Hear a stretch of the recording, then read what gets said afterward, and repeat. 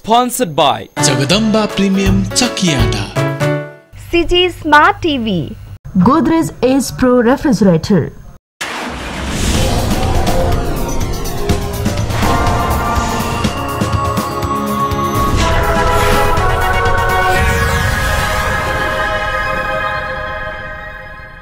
आदरणीय दर्शकहरू कार्यक्रम आउटलुकमा स्वागत छ यति बेला देशमा संविधान संशोधनको चर्चा व्यापक रूपमा छ र संविधान बनेदेखि र संविधान बन्ने बेलादेखि नै यो संविधान तुरुन्तै संशोधन गरिनेछ भन्ने श्रृङ्खलाका अनेक श्रृङ्खलाहरू थपिँदै आएको छ।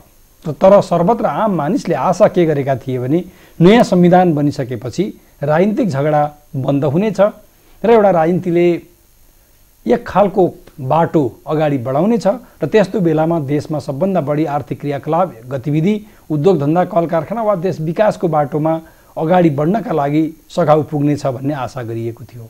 त्यस्तो आशा यति बेला झन्डै संविधान जारी भएको डेढ वर्ष पुग्दा नपुग्दै पूर्णत निराशामा बदलिएको छ। र हिजोको द्वन्द्व विगतको द्वन्द्व बल्झेर नयाँ नयाँ चरणमा र नयाँ नयाँ घाउ बनाउने स्थितिमा पुग्दैछ।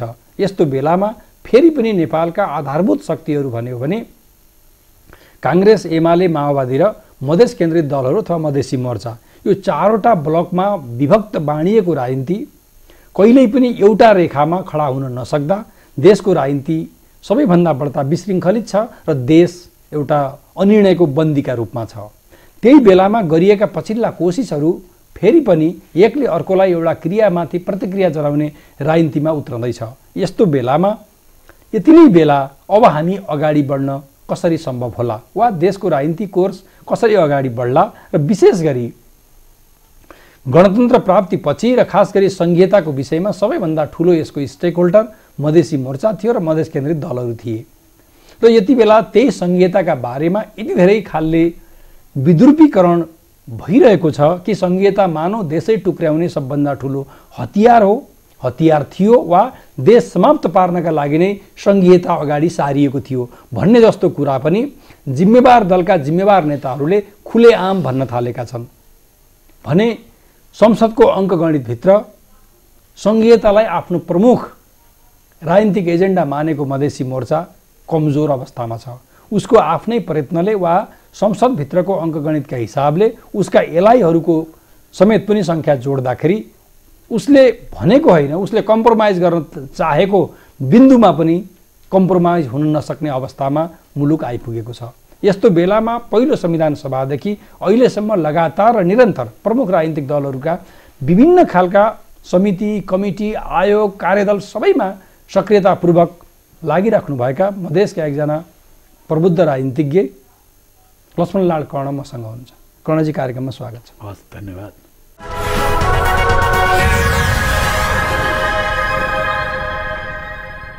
मैले अगाडि भने जस्तै गर्दा प्रमुख हामी कहाँ चारवटा राजनीतिक शक्तिमध्ये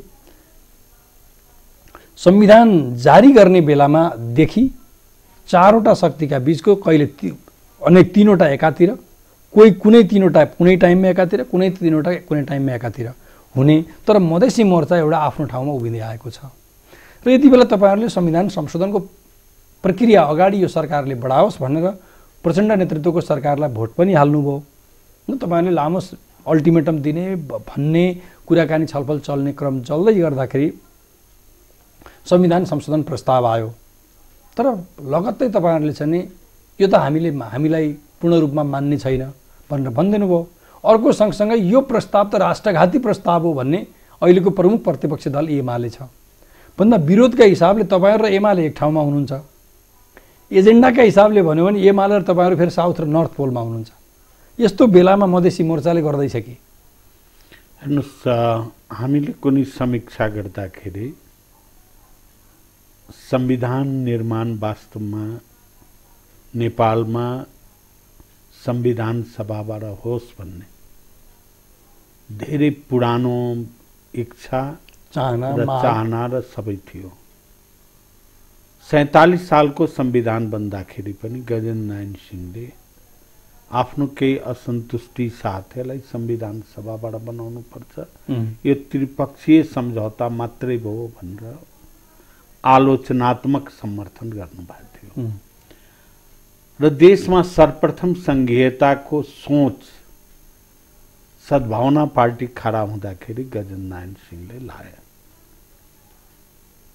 त्यो बेला धेरै आलोचित भयो उहाँलाई धेरै विखण्डनकारी यादीको पनि खेप्नु पर्यो आलोचनाहरू तर आफ्नो ठाउँमा अडिग भएर बस्नुभयो।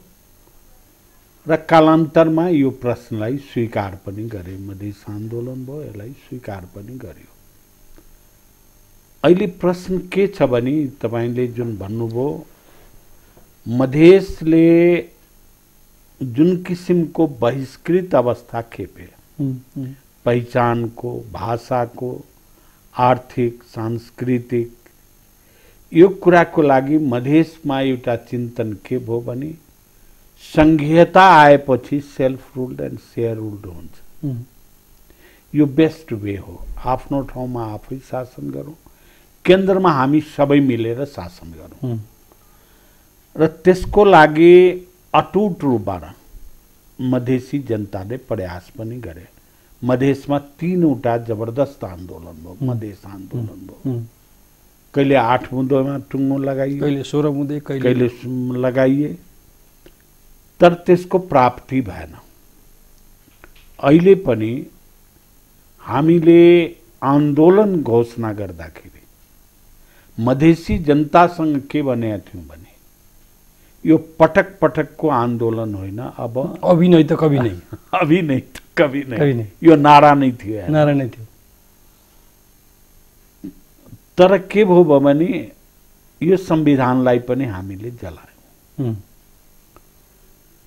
तर जुन अवस्था परिस्थिति पेश भयो देशमा उपस्थित भयो यही अवस्थामा अविरल देश गयो भने देश फेल फेल हुन्छ। भन्ने जिम्मेवारी पनि बोध गरे मधेसी मोर्चाले।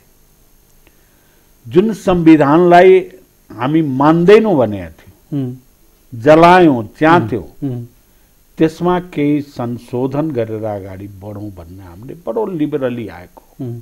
बडो लचकता साथ आएको। तर दुर्भाग्य के भयो भने त्यसको लागि सुशील कोइरालाजीकी सरकार भनौँ केपी ओलीजीको सरकार भनौँ दुइटै मिलाएर छत्तिसचोटि वार्ता पनि गर्यो। हाम्रो मागलाई एमाले कहिले पनि नजाइज भनेन। नजाइज त्यो बेला कहिले भनेन? या सतामोहले होस् या जे होस्। धेरै कुरोमा हाम्रो सहमति पनि भइसकेका थियो। एउटा बााउन्ड्रीको हकमा जुन के हामी सीमाङ्कनको बारेमा। सीमाङ्कनको हकमा हामीले यो हाम्रो बटम लाइन हो। यो परिवर्तन बटम लाइन हो। त्यसको लागि तिन महिनाको समय दिने र एउटा आयोग बनाउने। त्यो आयोगको टिओआर पनि मिलिसकेका थियो जुन बेला केपी ओलीजी जाँदै हुनुहुन्थ्यो भारत त्योभन्दा एक दिन अगाडि रातिमा मिलिसकेका थियो कुरो। कार्यदलमा मिलेर। हामीले रिटेन। फाइनलमा सिग्नेचर गर्ने रि- रिटेन पनि भयो। त्यो सायद भीम रावलजीको ल्यापटपमा होला। तर उहाँले पाँच मिनट समय माग्नुभयो र आउँदाखेरि अहिले मसँग होइन रावलजी अब उहाँले कन्सल्टेसन गर्नुभयो होला ओलीजीसँगै। मबाट यो सम्भव भएन भनेर इन्कार गर्नुभयो। त्यसपछि हाम्रो वार्ता बन्द भएको छ त्यसपछि विभिन्न पत्राचार भयो होला तर वार्ता कहिले भएन। मधेसी मोर्चाले आफ्नो औकात नै हेरिकन यति लिबरल ठाउँमा आएको।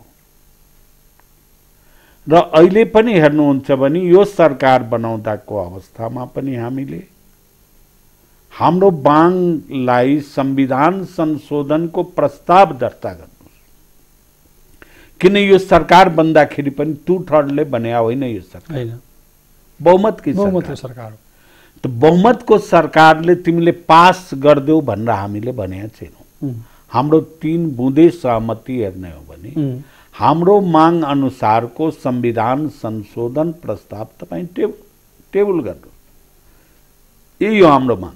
योभन्दा बढी माग हाम्रो सरकारसँग थिएन। त्यसमा औपचारिक अनौपचारिक विभिन्न कुरा कुराहरू भयो। जुन चर्चा गर्नुभयो तपाईँले। र प्रस्ताव पनि एउटा तयार भएको छ। हामीले जुन खोज्या थियौँ प्रस्ताव र हामीसँग जुन अनौपचारिक वार्ता यसपालि त अनौपचारिक नै बढी भयो। त्यसमा भएका केही कुराहरू उल्लेख भएन।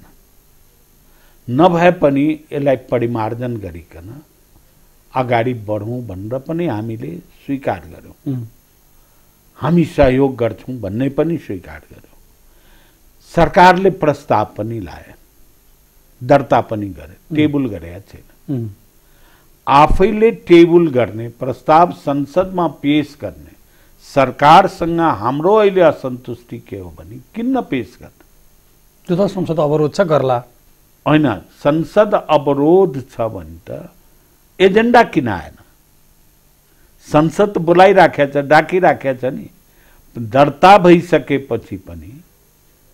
त्यो एजेन्डामा त प्रस्तुत हुनु पर्यो नि त। यसमा पनि। म यसमा पनि म हजुर। यसमा टाइम छ। तर करुणाजी खास गरिकन जुन यो प्रस्तावका प्रति तपाईँहरू पनि आलोचक रहनुभयो नि जुन हाम्रो कुरा केही आएन भन्नु तपाईँहरूले चाहेको के थियो र के आएन? होइन हामीले चाहिए त एघार बुँदा नै हो। होइन। बुँदा नै छोडिदिनु मैले ठोस रूपमा चारवटा आएकोमा भाषाको कुरामा तपाईँहरू एग्रिड भाषा आयोगले बनाउने भन्ने कुरामा। राष्ट्र राष्ट्रिय सभामा रिप्रेजेन्टेसनको कुरा तपाईँहरूले भनेको चिज नै ठ्याक्कै परेको छ। तपाईँहरूले जुन जसरी भन्नुभएको थियो त्यसको बारेमा ठुलो कन्ट्रोभर्सी छ। मसँग कैयौँ एमाले नेताहरूले यही स्टुडियोमा कुरा गर्दाखेरि पनि अमेरिकामा हवाईबाट पनि दुई दुईजना न्युयोर्कबाट पनि दुईजना फिलाडेल्फियाबाट पनि दुईजना कहाँ हुन्छ यस्तो? भन्ने तर्कहरू पनि आफ्नो ठाउँमा छन्। जे भनौँ त्यही मान्दिने भन्ने पनि छन्। तर राष्ट्रिय सभाको रिप्रेजेन्टेसनको बारेमा तपाईँहरूले जे भन्नुभयो त्यो नै त्यो प्रस्तावमा छ। हजुर नागरिकताको केसमा अन्तरिम संविधानमा जे छ त्यसै अनुसार मिलाउने भन्ने कुरा छ।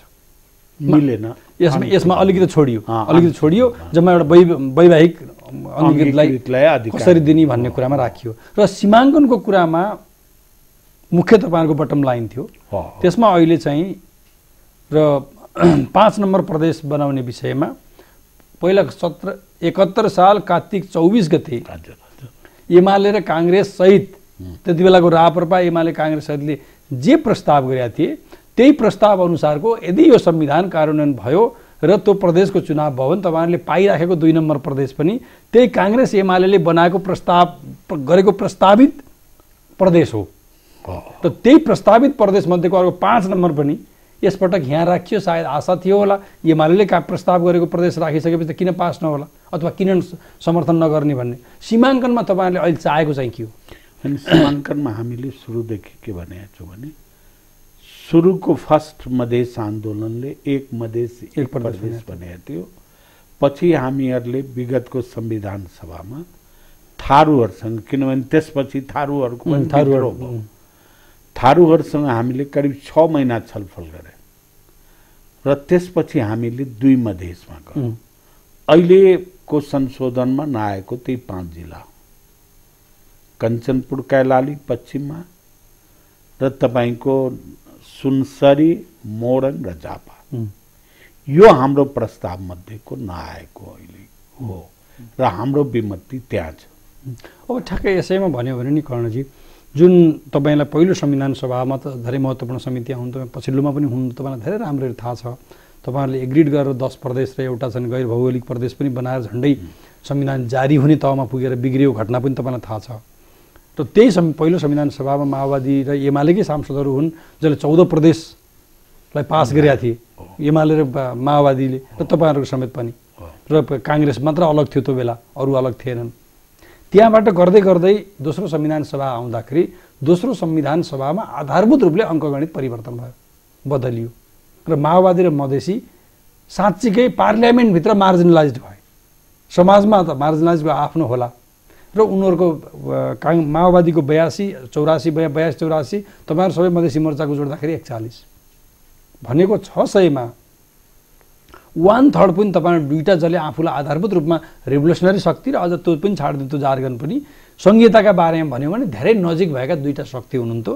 तपाईँहरूको वान थर्ड पनि भएन। यस्तो बेलामा तपाईँहरूले जे भन्दै आउनु भएको छ र माओवादीले सायद आफ्नो साइज बुझे होला उहाँ आफ्नो अब बुझ्यो होला र धेरै कुरा उसले छाडिदियो र जसरी हुन्छ संविधान जारी होस् भन्नेमा पुग्यो।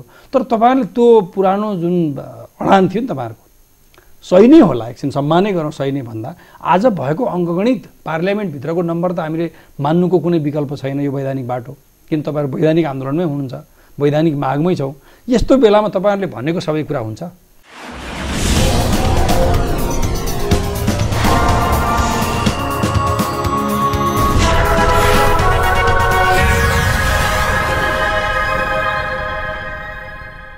एबिसी न्युज तपाईँले आफ्नो फोनमा हेर्न र पढ्न सक्नुहुन्छ। एबिसी न्युज नेपाल डाउनलोड गरी मोबाइलमा टिभी हेर्नुहोस्। ABC news Nepal, mobile apps, Android and iOS. ABC news Nepal, download your phone.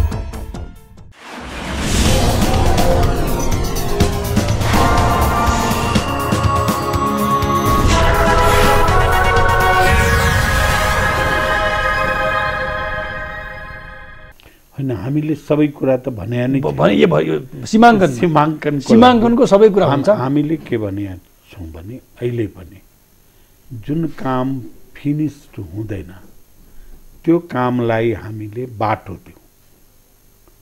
किन आन्दोलन मोरङमा पनि शहादत दिए मान्छेहरूले कैलाली कञ्चनपुरमा पनि शहादत दिए जसको ड्यू हामीमाथि बाँकी छ। त त्यसलाई पनि रिफ्लेक्सन गर्नलाई आज हामीले दिएनौँ भने एकछिनको लागि। सङ्घीयता भन्ने कुरा एक दिनमा समाप्त पनि हुँदैन। कहीँ पनि ongoing process हो। अनगोइङ प्रोसेस हो। यस्तो अवस्थामा हामीले हाम्रो बिचमा भएको एउटा सहमति अर्को के थियो भने एउटा आयोग सङ्घीय आयोग बनाउने। सङ्घीय त्यसको सिफारिसका आधारमा यसलाई समाधान गर्दै जाने। गर्दै जाने। त्यो सङ्घीय आयोग बनाउँदाको अवस्थामा केही टिओआर हामीले भनेका थियौँ। त्यो टिओआरमा अलिकति के भयो भने हामीले के भनेका छौँ अहिले टिओआर जुन सरकारले पास गरे हुन त हामीले संवैधानिक नै आयोग बनाउने भनेका थियौँ। अहिले सरकारले राजनीतिक। आयोग भयो। भयो। तर संवैधानिक आयोग र राजनीतिक अधिकार नै बन्दाखेरि पनि मेरो विश्लेषण मैले सोच्दा धेरै फरक पर्दैन। हाम्रो यसले एउटा के भएछ भने सबै कुरो संविधानमा भइदिँदाखेरि नै पक्का हो। नत्र त कुनै कुरो पक्का हुँदैन। संसारमा हेर्नु हो भने प्लानिङ कमिसन नै इन्डियामा कानुनले। संविधानमा छैन। धेरै कुरो छ। तर पक्कै छ। हामीभन्दा भइरहेकै छ चलिरहेकै छ। हो। त मेरो भनाइ के थियो भने संविधानमा नगरे पनि सरकारमा गर्दाको अवस्थामा अझ राम्रो हुँ। किनभने सरकारलाई टु थर्ड त चाहिँदैन चाहिँदैन त त्यो एक्जिक्युटिभका एक्जिक्युटिभ हो गर्ने। प्रोब्लम जहाँ भयो भने उसले फेर्छ। त्यसमा हामीले के भनेका थियौँ भने अहिले धेरै कुराहरू आइसक्दाखेरि पनि जुन सुरुमा एमालेसँग छत्तिसचोटि आयोगको कुरा त्यहाँ पनि भएको पाँच जिल्ला विवादित छ भन्ने कुरा लेख्ने। यो पाँच जिल्ला जुन हामी अहिले नै राख्न सकिँदैन भने भने त्यसलाई विवादित। भनिकन विवादित जिल्ला रहेछ। आयोगले के हेर्छ के गर्छ? एउटा निर्णयमा त आयोग पुग्छ। त त्यसलाई भनौँ त्यो अहिले पुगेका छैन। हाम्रो विमति भन्नुभयो भने। त्यो आयोगको सन्दर्भमा विमति हाम्रो त्यहाँ छ त्यति। भनेर अगाडि बढौँ। र त्यति भनेको भने- अझ दर्शकले बुझ्ने गरी भनिदियो भने। अहिले संविधान संशोधन प्रस्तावमा जे आएको छ त्यसमा थप। झापा मोरङ सुनसरी कैलाली र कञ्चनपुर विवादित जिल्ला रहेको हुनाले। जुन सङ्घीय आयोग जुन भन्छ त्यो आयोगको सिफारिस अनुसार अन्य जुन उसको दिया छ विगतको विगतका विभिन्न खालका रिपोर्ट समितिका विगतका आएका रिपोर्टहरूका समेत आधारमा सल्लाह लिने जुन त्यसका आधारमा गर्ने भन्यो भने हुन्छ। हुन्छ। होइन? तर यति नै बेला तपाईँले जुन संसदभित्रको मैले अहिले सङ्केत गरेँ जुन स्थिति देखिँदैछ नि एमाले यो प्रस्ताव कुनै हालतमा टेबल हुँदैन भनेको छ। त्यो उसको कुरा हो। एमाले जसरी आफूलाई डेमोक्रेटिक भन्छ वा जे भन्छ उसका आफ्नो तर्क होलान् जेसुकै होला स्वार्थ होला। भन्दैछ। तपाईँहरू पनि तपाईँले त यहाँ त बडा प्रष्ट ढङ्गले भन्नुभयो तर मोर्चाका हिसाबले भन्दाखेरि तपाईँहरूको भाषा ऊ एमालेको जस्तो भाषा छ। ऊ प्रष्ट नहुने के? यो पनि अर्थ लाउन मिल्ने ऊ पनि अर्थ लाउन मिल्ने। संविधान संशोधन प्रस्तावको नजिक नजिक आएको हो कि टाढा भाग्न खोजेको खालको झन् बन्दी हुनुहुन्छ ए- एउटा कुरा हामीले नबुझ्या के रहेछौँ भने त्यो एमाले पनि सम्झनुपर्ने कुरा हो। संसदमा प्रस्ताव दर्ता भइसकेपछि त्यसको आफ्नो एउटा प्रक्रिया। प्रक्रिया छ। त्यो पेस भएपछि संशोधन दिने ठाउँहरू टोटल डिनाइ पनि गर्न सकिन्छ नि। वा यसमा एड गर्न पनि सकिन्छ। यति कुरा एड गरिदिनुहोस् एमेन्डमेन्ट गरिदिनुहोस् भन्ने पनि ठाउँ छ। र त्यो अहिले नै टु थर्ड एमाले दिएन भने टु थर्ड पुग्दैन भन्ने कल्पनामा हामी धेरै हिँड्यौँ। त्यो अलग कुरा हो त्यो त भोटिङको बेला थाहा हुने हो। भोटिङको बेला भोटिङमा गइसकेपछि थाहा। थाहा हुन्छ हुन्छ कि हुँदैन? तर अहिले नै हामीले के छ भने दिमागी रूपबाट अलमली राखेको अवस्था छ। त्यो गर्नु हुँदैन। टेबल गरौँ त्यसको आफ्नो रिजल्ट जे आउँछ आउँछ। टेबल गरेको रिजल्ट जे आउँछ मान्ने त अँ, मान्नु मोर्चालाई। मान्नुपर्छ अब त्यसपछिको लडाइँ हाम्रो अर्को खालको त्यो अलग हो। कसैको एजेन्डा त कुनै एउटा। वा एउटा भोटले समाप्त भयो भने त हुँदैन। यद्यपि त्यो आन्दोलनको बाटो बदलिएला। बदलिएला। जाउँला। स्वरूप फरक पर्ला। स्वरूप फेरि कोसिस। गर्ने कुरा होला। होला। तर के रहेछ भने एमेन्डमेन्टको बाटो नै परिमार्जनको बाटो र संसदमा के हुन्छ भने धेरै एमेन्डमेन्ट पढ्दाको अवस्थामा पनि अहिले जति हामी तिन दल वा चार दल मोर्चा समेत बैठक गरिराखेका छौँ यसको जरुरत त्यो बेला पर्छ। प्रपर टाइम त्यो एमेन्डमेन्ट आइसकेपछि हामी बसौँ। कतिसम्म मिलाउने के गर्ने कुरा गरौँ। एमालेलाई मैले के भन्छु भने संसदमा त्यो प्रस्ताव आएकै छैन भने टेबल? गर्न एजेन्डा त छैन। छैन भने हल्ला किन? हल्ला किन? बिना मतलबको हल्ला हो नि। यदि संसदीय व्यवस्था मान्छ भने एमाले लोकतन्त्रलाई एमाले मान्छ भने त लोकतन्त्रले के भन्छ भने त त्यो प्रोसेसमा हुन दिनु पर्यो लोकतन्त्र आफै एउटा प्रक्रिया हो। लोकतन्त्र भन्ने अरू केही पनि कसैले सिकाउनै पर्दैन। पर्दैन। त्यो प्रक्रिया त्योभन्दा अझ टाढा नगइकन भन्यो भने। सरकारका तर्फबाट जुनसुकै खालका सरकारलाई तोकिएको का ऐन कानुन संसदको नियमावली अनुसारका। सरकारले जुनसुकै प्रस्ताव पनि टेबल गर्न सक्छ दर्ता गर्न सक्छ टेबल गर्न सक्छ। पार्लियामेन्टले त्यसलाई पास गर्ने कि फेल गर्ने? सम्पूर्ण राइट छ। सम्पूर्ण सम्पूर्ण अधिकार छ। त्यसमा आफूलाई अपोजिसनको कर्तव्य त्यसलाई फेल गर्ने छ भने। उसको पक्षमा उसले मेजोरिटी जुटा जुटाउँदा भइहाल्यो। जुटाउन सकिन्छ। तर त्योभन्दा त्यो प्रायर किन रोकिया छ? त्योभन्दा प्रायर नै यहाँ मैले के देखिराखेको छु भने यो संविधान संशोधन नहोस् भन्ने एक्सर्साइज होइन कि। अहिले इमिडिएट इलेक्सन नहोस् भन्ने एमालेको धारणा हो। र? सबभन्दा अहिले चुनाव घोषणा गर भन्छ नि त एमाले मान्छे। एमाले चुनाव घोषणा गरेको भनिराख्या रहेछ भने मङ्सिरमा चुनाव गर्ने भन्ने उसले भने होइन। हो। र उसैले बनाएको आयोगलाई फागुनसम्म टाइम दिया होइन। त के तिन महिनाको लागि एउटा इलेक्सन चुनाव हुन्छ? चार महिनाको लागि। त त्यो भाषण हो। जनतालाई एउटा देखाउने म इलेक्सन प्रति छु। ए अस्ति भन्दा तपाईँहरूको बुझाइ चाहिँ अहिले। एमाले जसरी हल्ला गरिराखेको छ बेमतलब खालले जुन टेबुलै हुन दिन्न भन्ने जुन बालहट जुन केपिओलीको शब्दमा भन्यो भने। उसैले बालहट प्रदर्शन गरिराखेको छ। यो भनेको संशोधन हुन नदिने होइन कि? यो संशोधन प्रस्ताव अगाडि बढेर चुनाव घोषणा भइहाल्ला कि भन्ने डर हो? बिल्कुल। यसले के छ भने अस्तिको बैठकमा संविधान संशोधन एजेन्डा थिएन त्यो दिन इलेक्सनका दुईटा थियो। स्थानीय निकायको निर्वाचनवाला र निर्वाचन अपराध तथा सजाय सजाय ऐन सम्बन्धी दुईटा कानुन गर्नुपर्ने थियो भने त्यसलाई रोक्नुपर्ने कारण के? त्यसलाई पेस हुन नदिनु पर्ने कारण के? यो इलेक्सन खोज्या हो त। त्यसकारण मैले के भन्दैछु भने एमालेलाई थाहा छ यो संशोधन हामी जसको लागि रोकिराखेका छौँ ऊ मेरो एगेन्स्टमा जान्छ। एमालेलाई मधेसी चाहिँदैन जनजाति चाहिँदैन थारू नै चाहिँदैन भन्ने त होइन। तर कर्णजी तपाईँले पनि सुन्नुभयो होला पछाडि एउटा हामी केही सम्पादकहरूसँग अन्तर्क्रियामा समेत पनि केपिओले बोल्नुभयो त्यसपछि लगातार बोल्नु भएको छ। र हिजो अस्ति पनि समाचारहरू आइराखेको छ कि कहिले पाँच विकास क्षेत्रलाई बनाइदिए हुन्छ भन्ने। तपाईँलाई अर्को रोचक छ भने तपाईँले बाहिर सुन्नु पनि भयो होला एउटा घटना सुनाइदियो कि केपिओले त कतिसम्म भन्नुभयो भने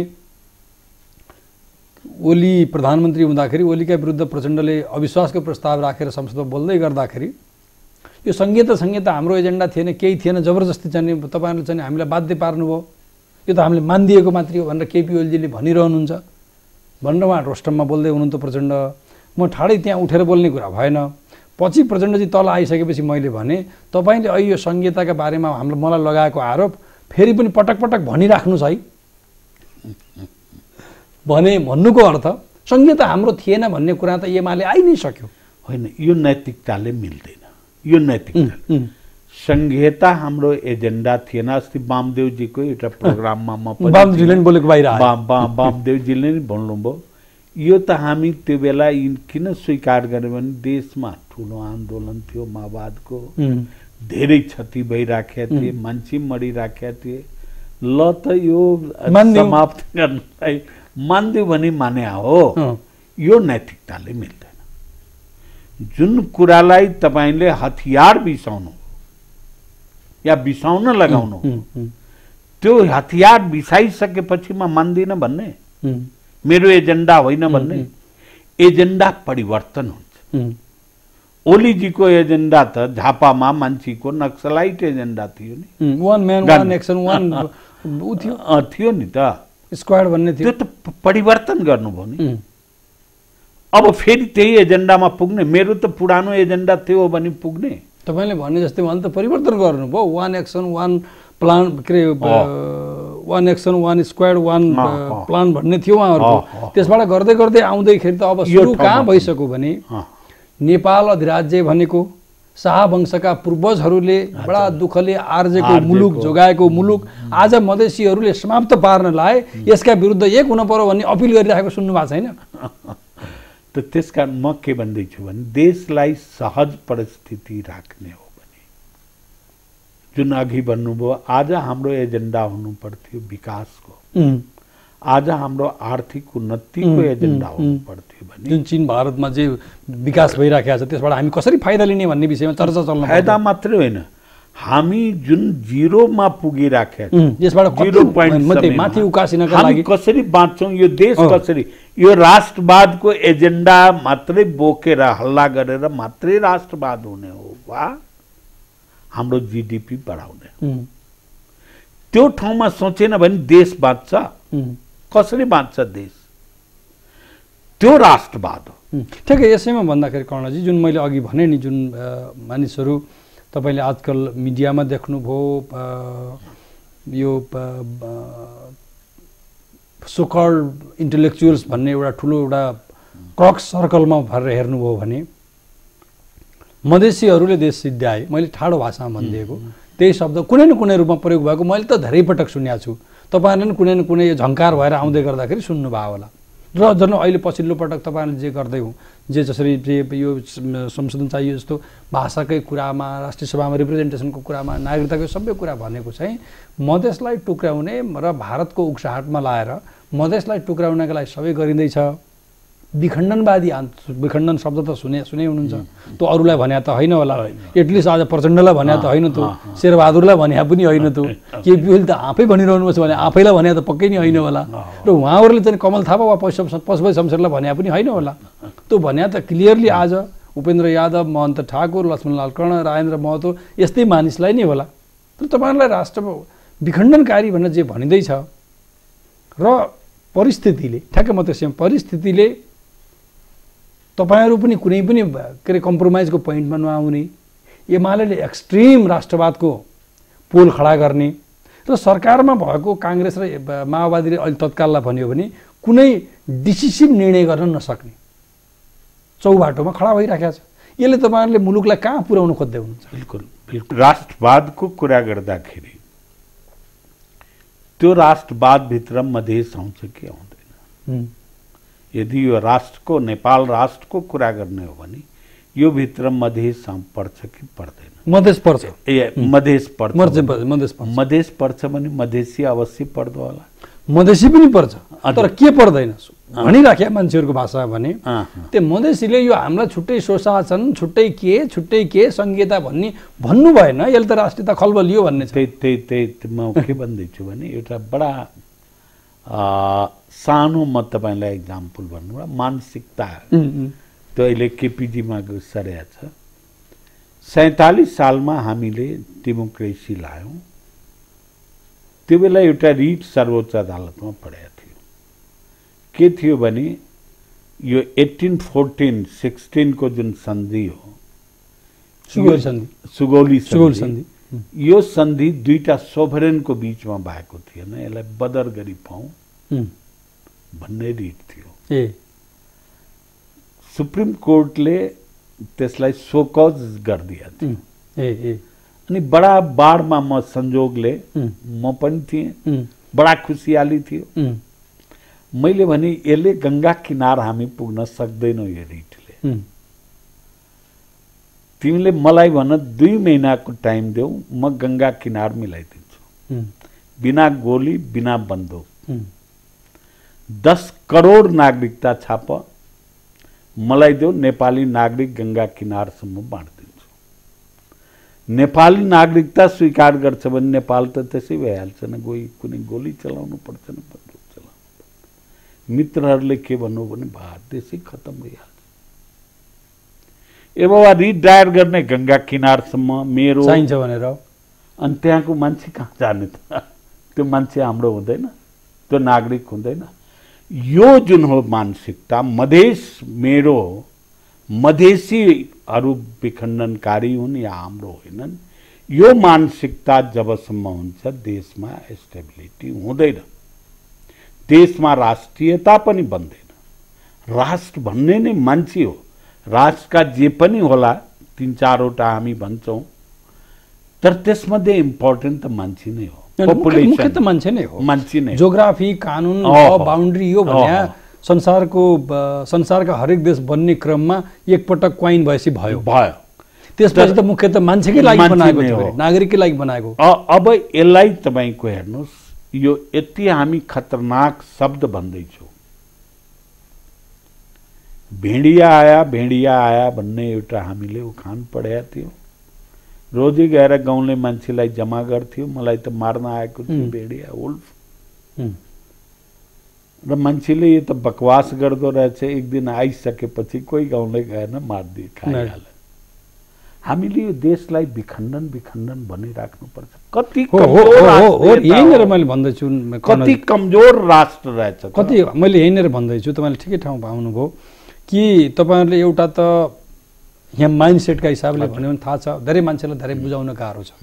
राष्ट्रियताका बारेका विषयमा छलफल गर्नु नै अपराध मानिन्छ संसारका धेरै देशमा इन्क्लुडिङ नेपाल।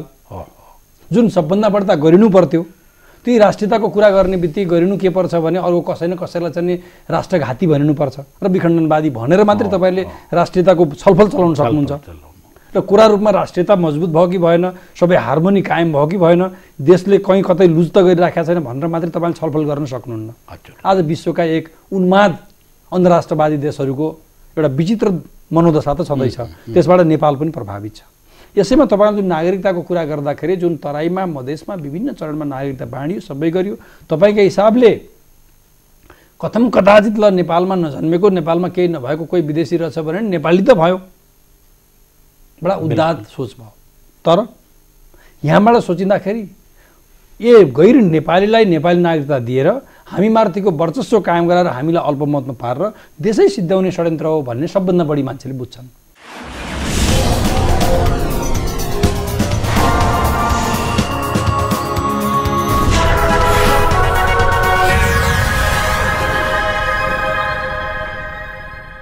एबिसी न्युज तपाईँले आफ्नो फोनमा हेर्न र पढ्न सक्नुहुन्छ। एबिसी न्युज नेपाल डाउनलोड गरी मोबाइलमा टिभी हेर्नुहोस्। ABC news Nepal, mobile apps, Android and iOS ABC news Nepal, download your phone.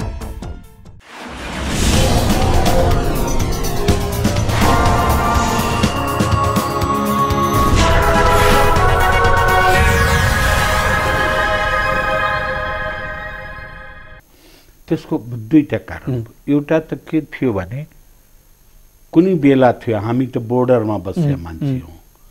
कुनै बेला थियो हाम्रो खेतीपाती इन्डियन लेबरले गर्दै उम्, त्यो उखु होस् या धान रोपाइ हो, अहिले एकजना मान्छे आउँदैन। जहाँ चार महिनाको बेरोजगारी भत्ता पाइन्छ युपी र बिहारमा। त्यो मान्छे त हरियाणा पन्जाब जान छोडिदियो भने। त्यो बेरोजगार भत्ता पनि बाह्र हजार छ मिनिमम वेज। त्यो किन आउँछ नेपालमा चार हजारका लागि। चार हजारको लागि। बढीमा त्यही पनि। अनि यो नागरिकताको वेट कति त यहाँ इन्डियनहरूले आएर नागरिकता लिने यसको वेट होला नि भ्यालु होला नि। अनि त मान्छेले लाखौँ लाख कसैलाई देला या प्रयास गर्ला या लेला। कुनै बेला यो भ्यालु थियो त्यो पनि कसको लागि भने हाम्रो दुई देशको बिचमा सन्धिले नै जुन अधिकार नेपालीलाई नेपालमा छ त्यही अधिकार इन्डियनलाई पनि प्राप्त हुन्छ र इन्डियनलाई जुन अधिकार इन्डियामा छ त्यही नेपालीलाई प्राप्त हुन्छ। र फेरि हामीले आत्तिनु पर्ने जरुरत नै छैन। गैर नागरिकले नागरिकता प्राप्त गरे भने त्यो नागरिकता बदरदेखि लिएर सबै गर्ने अधिकार त्यो देशका हाम्रो कानुनले व्यवस्था गरेको छ ना- कैद गर्ने अधिकार। कानुनले व्यवस्था गरेको छ अनि किन आत्ति राख्ने नागरिकता? जहिले पनि म के भन्छु भने मानसिक दरिद्रता यो हो। दुई देशलाई देखाएर ठुलो देश छ भने आफ्नै नागरिकलाई नागरिकताबाट वञ्चित गर्ने। म तपाईँलाई एउटा नागरिकताको उदाहरण अहिले दिउँला। हिजो पनि फोन आयो। बाउ आमाको नागरिकता छैन। पचास साठी वर्ष भयो बुटवलमा बसिया छ।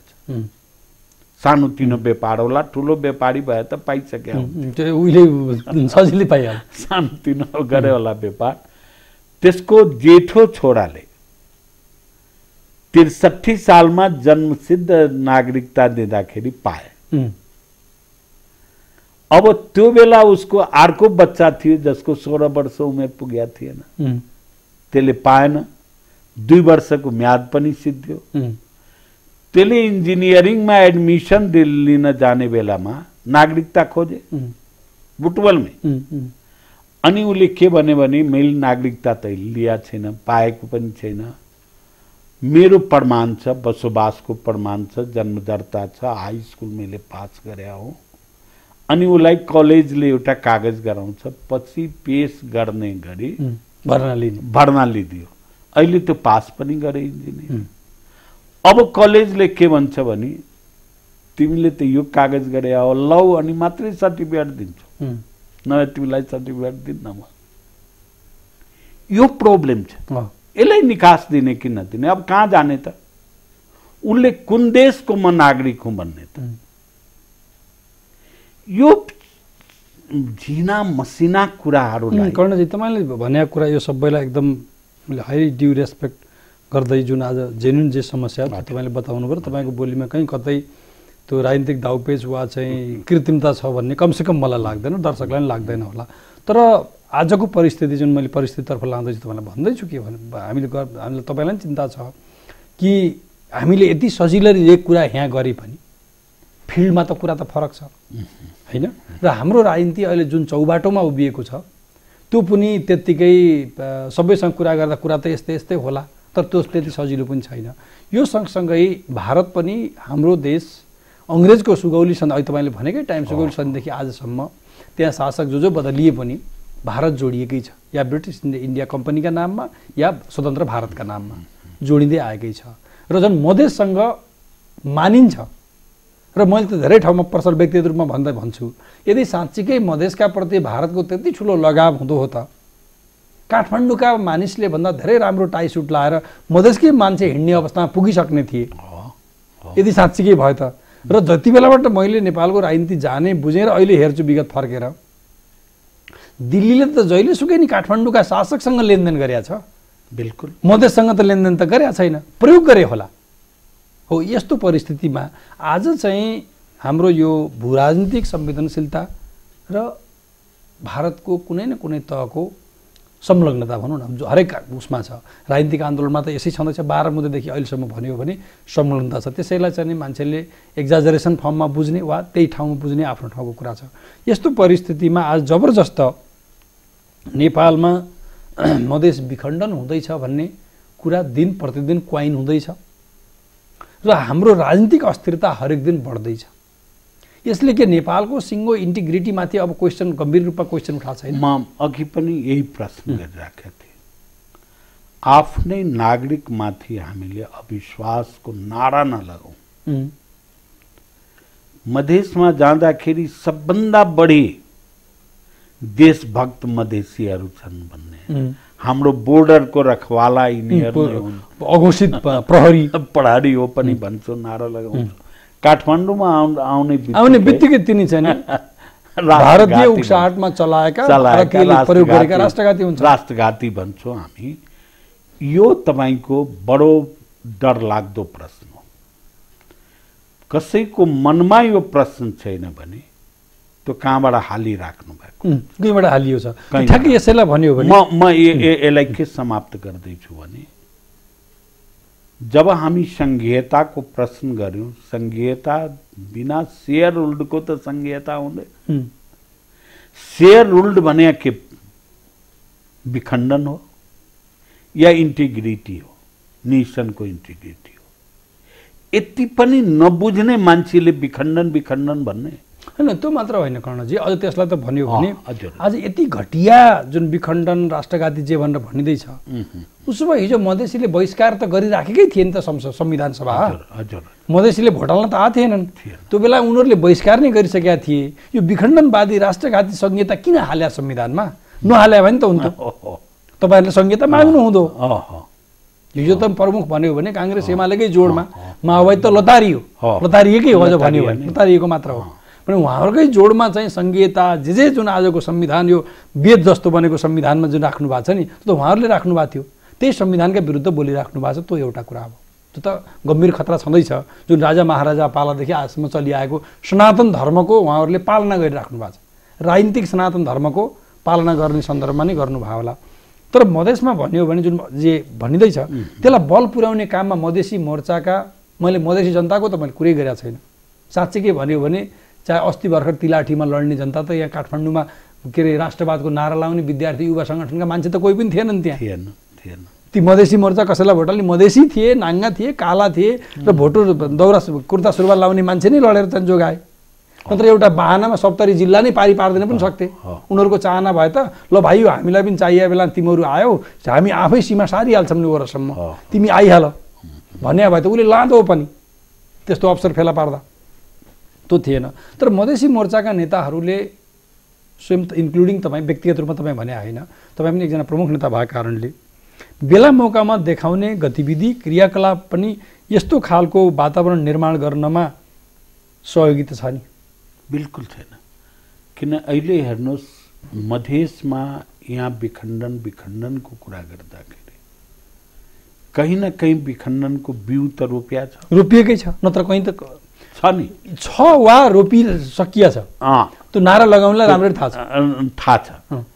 र त्यसलाई अहिले अगाडि बढ्न नदिने अर्को नारा सङ्घीयता नै।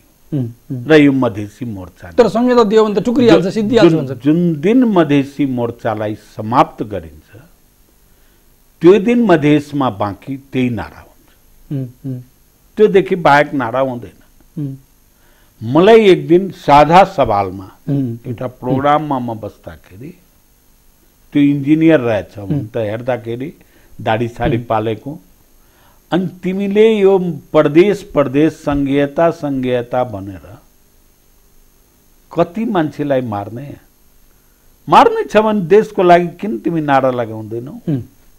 भन्ने पनि प्रश्न। यो मानसिकता त आयो नि कसले पैदा गरे यो केपी ओली जस्तो जबरजस्त। गरिराखिएकै छ अहिले पनि अहिले पनि यो केपी ओली जस्तो यति मिलेर बसेको देशलाई केकका टुक्रा चाहिँ टुक्रा। टुक्रा काटेर? भने के के भने हो यो यो के हो भने यसलाई तुरन्त अब बन्द गर्नुपर्छ र जुन सम्मान नेपालीले पाउने हो एउटा नागरिकले पाउने हो कुनै पनि कुनाका नेपालीले पाउने हो त्यो सम्मान मधेसका ने जनताले नेपालीले पनि पाउनुपर्छ। र त्यो यो विखण्डनको नारा बिल्कुल गलत नारा हो। देश विखण्डनमा अहिले कोही पनि जनता पनि छैन मधेसी मोर्चा पनि छैन जनरल पिपुल पनि छैन। तर भन्नुहुन्छ भने सङ्घीयताको लागि मधेसी तयार छ। अझ आजै भन्ने हो भने आन्दोलन स्टार्ट गर। मधेसमा आन्दोलन तयार हुन्छ। कुन रूपको हुन्छ त्यो म भन्दिनँ। आन्दोलन सुरुवात गर्दाखेरि त हजार दुई हजार मान्छेबाट नै सुरु। पछि लाखौँ प्रदर्शन जुलुसबाट हुन्छ त्यस कारणले आजको यो देशको इन्टिग्रिटी बचाउन जसलाई राष्ट्रियता भन्दैछौँ स्वाभिमान भन्दैछौँ हामीले संविधान संशोधनको प्रस्ताव पारित गरेर अगाडि बढौँ त्यति भएपछि त यो संविधानलाई जलाएको हामीले जलाएको जलाउनेहरूले नि, त आए नि। त्यति पनि नबुझ्ने हुन्छ र किन यो पाँच नम्बरमा किन झगडा गरे केपी ओलीले त्यसको कारण थाहा छ। तपाईँले एउटा त भन्नुभयो कि सिद्धान्त त सङ्घीयता स्वीकार गरे।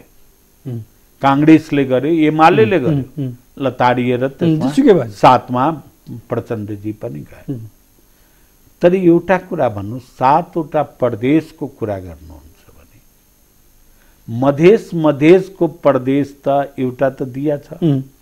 सप्तरीदेखि पर्सासम्म सम्मको आठवटा जिल्ला किन त्यसलाई त्यसलाई तिमी भारतमा मिस भनेर दिदिया हो यदि सिद्धान्त हो भने मधेसले पाए भने विखण्डन हुन्छ भने त्यहाँको जनता तिमीहरू भारतमा जाऊ सिमाना फेर भनेर दिया हुन् त।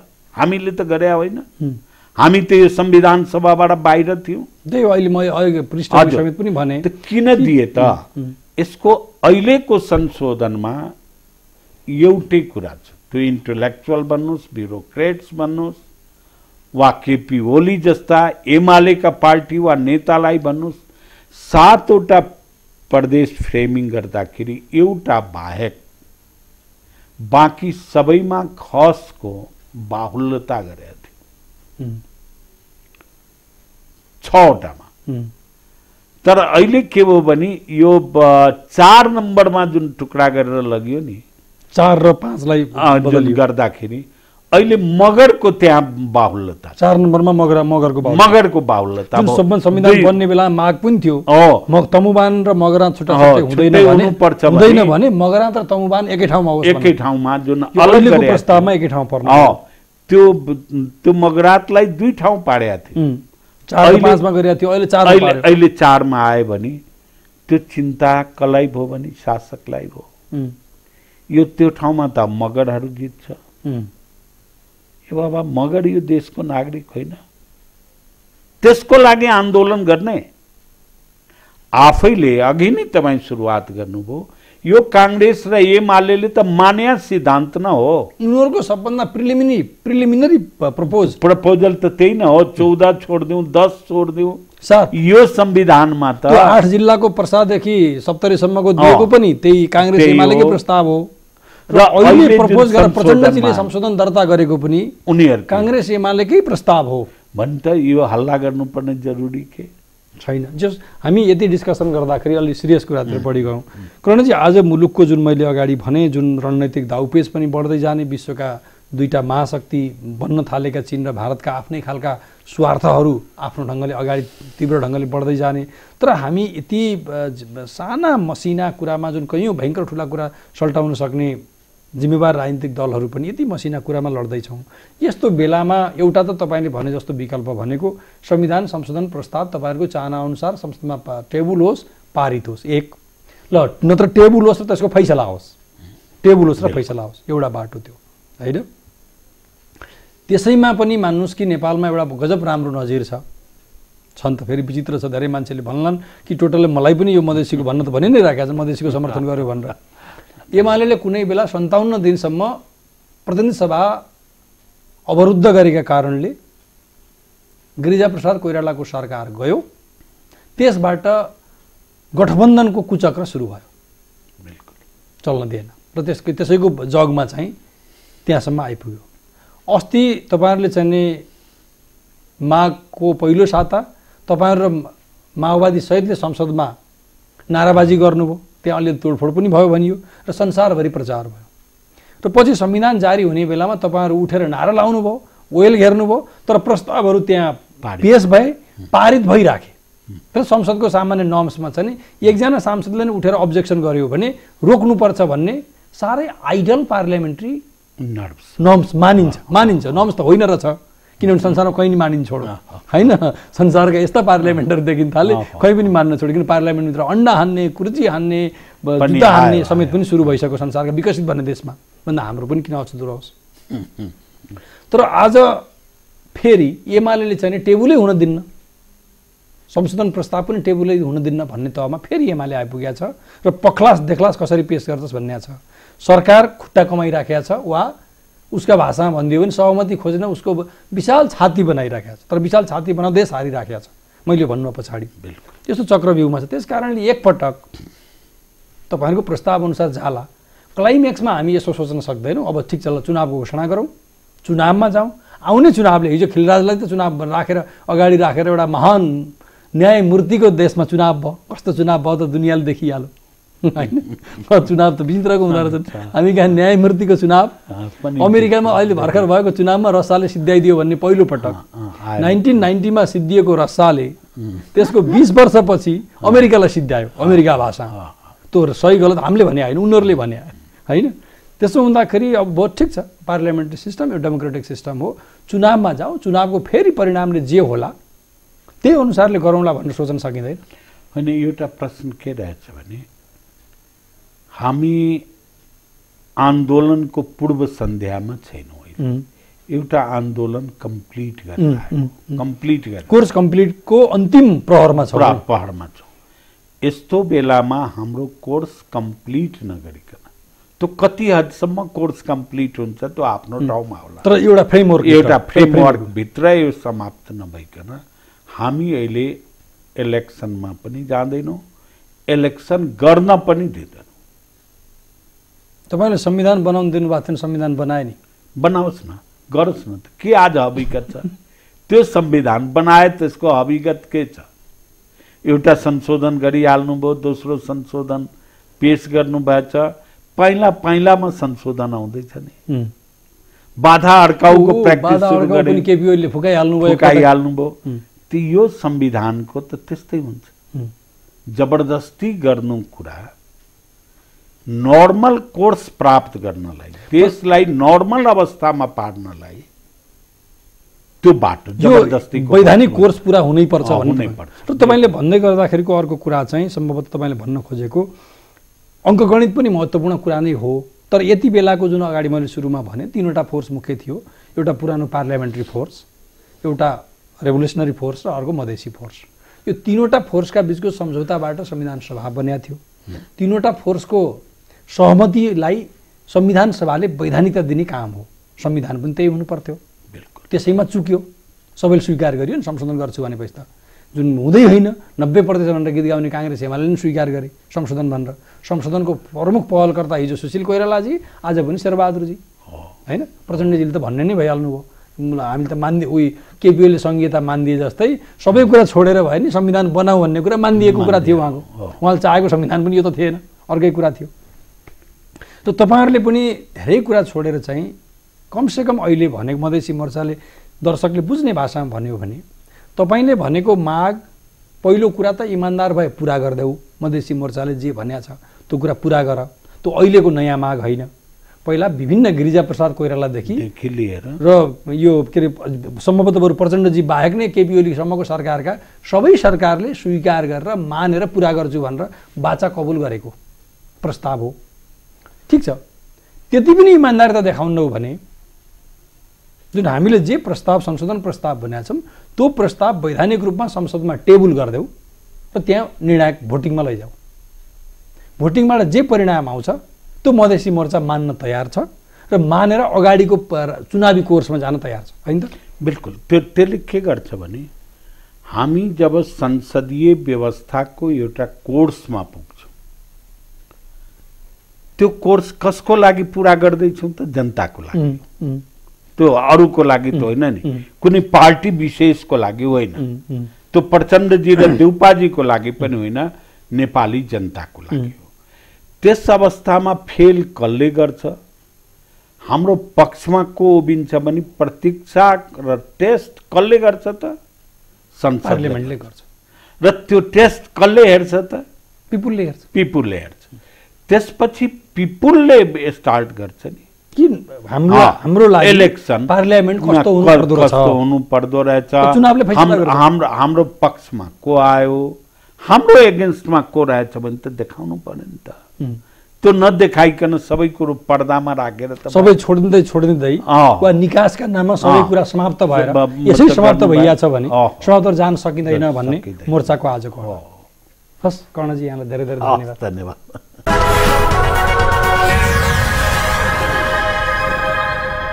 Sponsored by Jagadamba Premium Chakiada. CG Smart TV. Godrej Ace Pro Refrigerator.